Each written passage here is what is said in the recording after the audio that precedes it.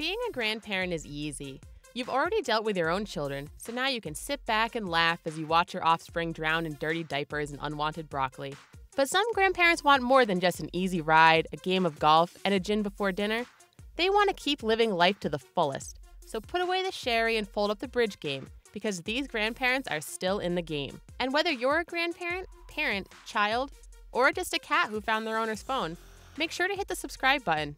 Do it for the whole family. Yasmina Rossi. For most people in the industry, your modeling career would be long over by the time you were 45. But Yasmina Rossi decided now was a good time to get started, and she ended up on the cover of magazines and representing major international brands. She's 60 years old with two grandchildren, but you would never know it to look at her. And although you might think she'd done a deal with the devil or bathed in the blood of virgins, she says it's a simple matter of eating only high quality foods and doing yoga every day. See? Easy.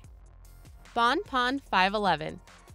Known only by their Instagram name, this Japanese couple has been married for 37 years and have a unique way of staying connected after all this time. They always wear complementary outfits. They have over 75,000 followers, and they wear a mixture of brands like Uniqlo and Comme des Garçons, as well as cool things they find in thrift shops. It's not clear how much planning goes into each outfit, but given that most of us can barely manage matching socks as we stumble out the door, their commitment to coordination is as impressive as it is cute. Gunther Krabbenhöft. But while Bon Pon 511 are cool through collaboration, German Gunther Krabbenhöft flies the fashion flag all on his own. Known as the hipster Opa, meaning, as you probably guessed, hipster granddad, he's spent most of his life as a cook and has lived in Berlin since the 70s. He's always been a sharp dresser, but rose to fame when he was seen regularly at the techno scene at legendary clubs such as Berghain and Sisyphos.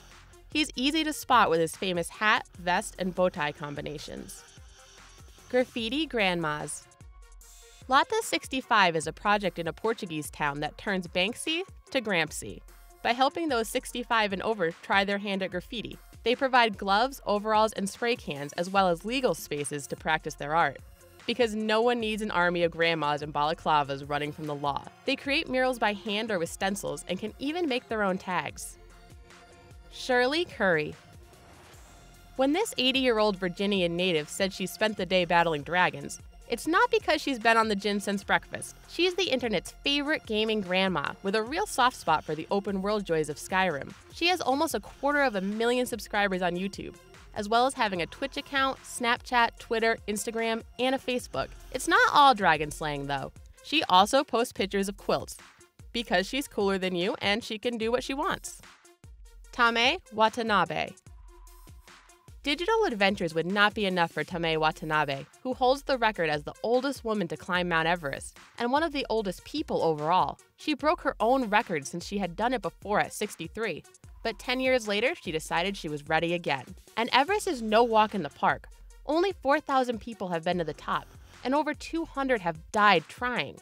She's also conquered many others, including five of the 14 mountains over 8,000 meters high. Wang Deshun. Wang Deshun's climb was up a catwalk rather than a mountain, but this Chinese grandfather rocked the fashion world with his debut appearance on the podium during Chinese Fashion Week having the charisma to match his toned and muscular physique. He is an actor and artist and says that his three hours of working out per day is only part of it. You need to have the right state of mind. Having a wizard beard probably helps too. It's a look we're calling gray steel. Dean Parker. Sometimes you see something on the news and you're moved to help, whether it's donating some money, joining a protest, or setting up your own vigilante posse. Dean Parker watched with sadness a report about the Kurds in Iraq struggling to fight off ISIS.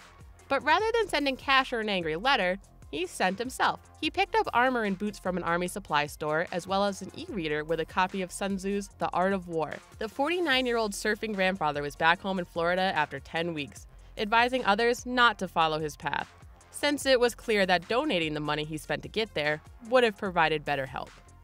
Jalal Mansour Nuruddin, when you ask most people about the earliest rappers, they might point to the Sugar Hill Gang or Chuck D, but those really in the know will tip their hat to Jalal Mansour Nuruddin, the grandfather of rap. In 1973, Nuruddin was a black activist who practiced acupuncture and martial arts. He released an album of rhythmic spoken word called Hustler's Convention using the name Lightning Rod. It's been sampled by hip hop's biggest stars, such as Nas, Wu Tang, and the Beastie Boys. Now in his 70s, Nuruddin has turned away from the genre of music that never gave him the credit or payback he deserved. Not that he asked for it. I don't entertain bitterness, man, is his reply to it all. Conchita Carpio Morales. But maybe the baddest of all grandparents is Conchita Carpio Morales, who refused to even build a higher fence, let alone move, when a grenade with her initials on it was found on her property. She worked her way up through the legal system in the Philippines to the Supreme Court, where she leads the fight against corruption. She shrugs off regular death threats, laughing at the people who are trying to scare her. Despite being 75, she works 12 hours a day, 6 days a week, just taking Sundays off to hang out with her grandkids, where candies for good behavior is the only type of bribery she'll allow. As we keep living longer and longer, our definition of what is old will soon change. So make sure you subscribe because in 2098, we're planning a great video on 10 great great grandparents you won't believe exist. And you wouldn't want to miss that, would you? See you again next time.